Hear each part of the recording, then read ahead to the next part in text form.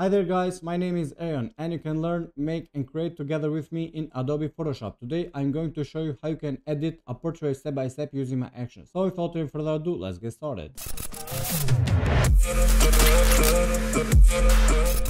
But before we start this video tutorial, please check all the links down in the description because you will find the raw file. You can join my telegram channel where I put all my raw files that I'm using in video tutorials and you will find the retouching actions, also the color grade actions. So let's get started. So before we start cleaning, I'm gonna make some changes around the head. So I'm gonna drag and drop the background layer and go to filter and liquify. I'm gonna make some changes around the hair.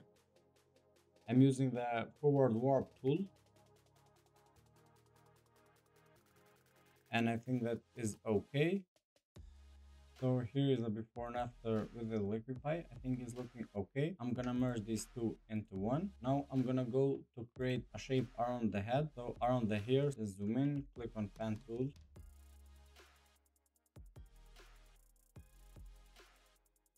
Right click and make selection. So for the feather radius, I think that I'm gonna go by three, just like this. Control and J to create uh, another shape from the selection we have made but uh, we want to invert the selection so i'm gonna go click control shift and i to invert this and control j to make a selection or another copy from the selection we have made. And as you can see this is the selection so i'm gonna leave it here. Now i'm gonna go clean uh, i'm gonna leave this for later and rename it like hair selection or maybe background doesn't matter because it will affect the hair and the background. So i'm gonna go here click link click play and after we do that as you can see we have two different layers. One of them is clean and one of them is a black and that layer so i'm gonna zoom in. And for the cleaning we are going to use two different tools. One of them is spot brush tool healing brush tool and patch tool. So i'm gonna start with spot brush tool and i think that i will start cleaning the hair.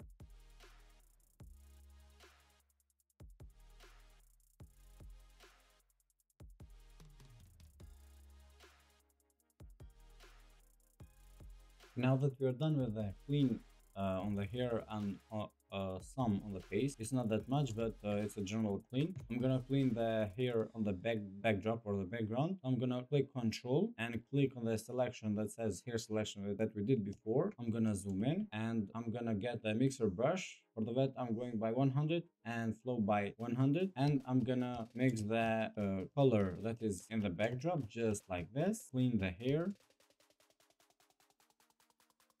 Since the backdrop is a solid color, uh, we can use the mixer brush to clean. As you can see before and after, I think is okay. And now that we are done with cleaning, it's time for the frequency separation. So I'm gonna click here on FS plus, click play. And for the right radius, I think that I'm gonna go by 8, click OK. Now open the group of the frequency separation, click on the low. So we are going to work on the low first and we are going to work on the high after. So I'm gonna click here on the mixer brush wet, I'm going to go by 10%, load 45, makes 45, and flow by 33. I'm gonna zoom in here in the forehead, and I'm gonna start mixing the skin tones.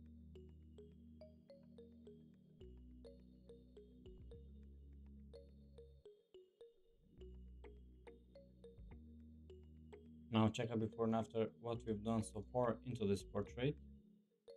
And I think that is looking okay. Now I'm gonna zoom in here and keep working just a little more.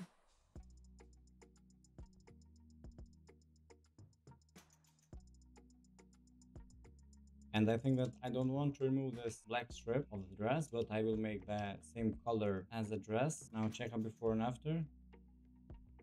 I think is looking okay. Now I'm gonna make a selection around this.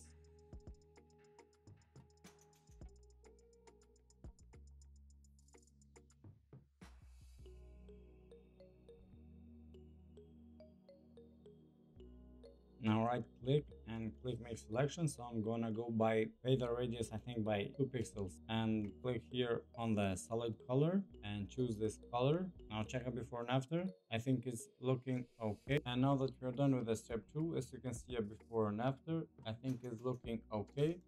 I'm gonna work on the lips. So i'm gonna make a selection around the lips just like this with the pen tool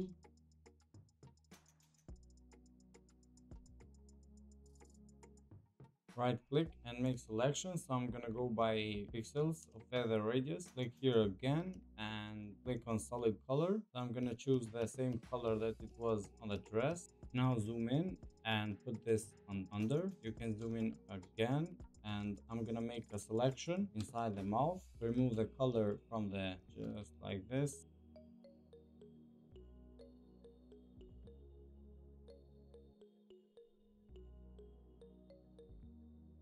Now right click, make selection and control delete. Remove the color from the mouth. Now check it before and after. You can switch from normal into color or some different of them. And I think that I'm gonna stick with the normal. Now click here on FX and click on blending options. Now hold alt keyboard and click it like this to remove the color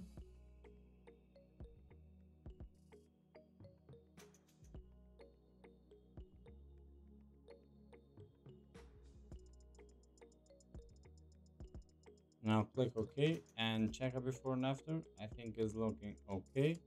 But I'm gonna reduce this by 50%. Now check it before and after again. Now I'm gonna turn off the color fill that we made on the lips. I'm gonna go again on the low frequency and click control and click here on the mask. Use the mixer brush to fix the color of the lips inside and outside. So i'm gonna mix the color that is inside the lip just like this. Now you can check it before and after what we've done. And i think that it's starting to look good. Now keep working inside the lips just like that. Now click control shift and e i sorry to invert it. So now i'm gonna work outside the lips just like that.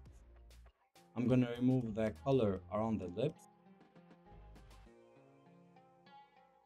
Now check it before and after. Zoom out and I think that is looking okay. Now click on the high frequency and click on the lips. Control Shift and I to invert it. Click on the clone stamp tool and copy paste the texture because we still have some color on the texture. Just like that. You can check it before and after and i think that is looking okay. Now turn on the color fill that we made before. As you can see a before and after. Now i'm gonna reduce this and switch the blending mode from no normal sorry to soft light. I think is kind of way too much so i'm gonna lower this by 50 percent something like that. Now check it before and after. I think it's okay. But as you can see we have a sharp line uh, around the lips so I'm gonna turn off all this and I'm gonna make us uh, with a lasso tool I'm gonna make a selection just like this. Go to filter. Oops sorry.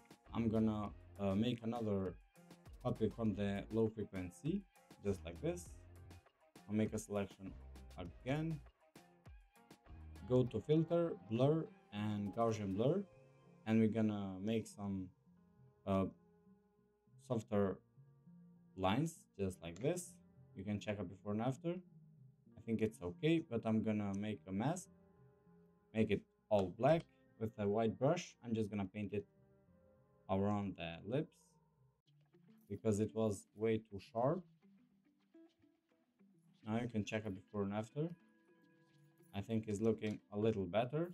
I'll turn on the color fill and check it before and after. And I think that is okay. Now that you're done with the lips I'm gonna click on dodge and burn. So we're gonna uh, put some dodge and burn into this portrait. I'm gonna start with a dodge with a white brush and 10% opacity I'm just gonna paint it where I want to dodge this portrait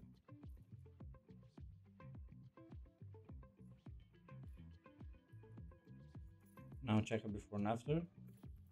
I think it's okay. Now turn off the desaturated layer. Check it before and after all the dodge. Now check it before and after all this entire process. I think it's looking okay. Click on the burn and start working with a burn. I'm gonna put some burn into the cheeks just a little. And around the forehead just a little on the eyebrows and in eyelashes under the lips. Now check it before and after. I think it's okay but I'm gonna reduce it. Open the burn and turn on the saturated layer. Now zoom in check a before and after. I think is okay. Now i'm gonna click here on the frequent separation. I'm gonna merge these two into one. I'm gonna drag and drop this to create another copy. I'm gonna select the dodge tool and i'm gonna pop up uh, the mice. So just like that. Don't forget to do this process in both of them. Zoom out and check it before and after. I think this one is looking okay but is way too much but we are gonna reduce the opacity. Now click here on the burn and with 10% opacity I'm just gonna paint it around the eyelashes. Just like that. Now I'm gonna make a contour around the eyes. Do the process in both of them. Now check it before and after. I think it's looking amazing but I'm gonna reduce it by 50% and check it before and after of this entire process. Now that we are done with the retouch I'm gonna add some I'm just gonna delete this. I'm gonna put some color grading actions. I'm gonna go by a9 I guess and check it before and after. I'm gonna open these and I'm gonna check all of them one by one until I find the best color grading options. Gonna reduce it by 25 and checking the other settings.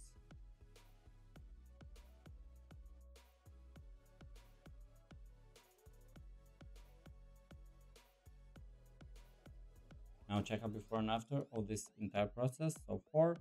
I'm gonna put some other adjustments. So I'm gonna click here on the selective color and click on the yellows and I'm gonna make some changes on the yellow tones just like this and reduce it by 50% click again on the selective color and click on the reds.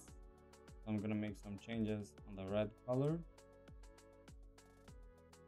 Now check it before and after and reduce it by 35 sorry now click again and click on the color balance. Click on the highlights. I'm gonna make some changes on the highlights too now check out before and after of this one. I think it's looking okay but i'm gonna reduce it by 50 percent. Click again on the color balance click on midtones and I want my midtones kind of into red, into yellow, something like that. I'm gonna switch the blending mode from normal to soft light and reduce it uh, into 25 I'll check it before and after put this inside the a1 and click here on the face contouring click play wait until it's done check it before and after double click and uh, highlights midtones and shadows. I'm gonna make some changes on the highlights just a little. Play with the midtones too. Now check it before and after of this one. Reduce it just a little put this inside and check a before and after. You can zoom in. Now check a before and after again so this is the before this is after retouch and this is before and this is after retouch and color grade and I think that is looking amazing. So that's it for today guys. I hope you enjoyed this video tutorial. Please don't forget to check all the links down in the description because you will find the raw file, retouching actions and the color grade that I'm using right now. Also you have to join my telegram channel to get this raw file and to follow this step-by-step -step process of the retouching and see you guys in the next one. Peace.